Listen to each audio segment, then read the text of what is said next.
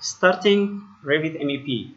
When you, if you need to open the Revit MEP, there are multiple ways. One of the ways are first on desktop you have right press R on desktop then it will lead you to your Revit files. Maybe you can see it in your desktop. Some of you have Revit 2017 16 18 or like a shortcut logo R. That one is Revit. So by double click we can open it. The second one is in the Windows start.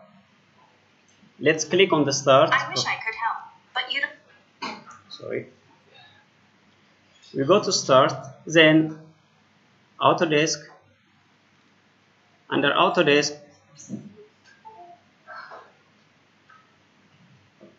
okay if you guys are familiar with Microsoft Word Microsoft Word Microsoft Excel Access PowerPoint all of them are Microsoft Office families right so when you start here you will find it under Microsoft Office then Word Excel will come for Autodesk also like Revit, Navisworks, and those Autodesk family, you will find it under Autodesk.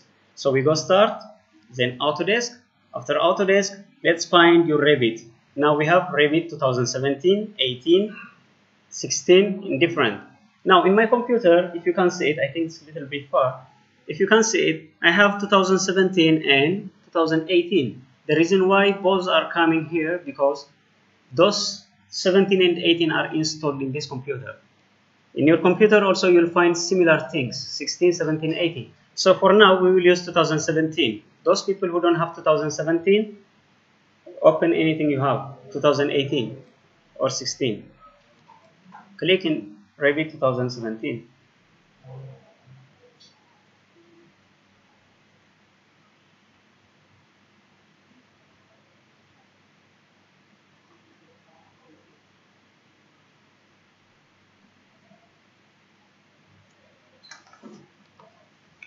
Any problem?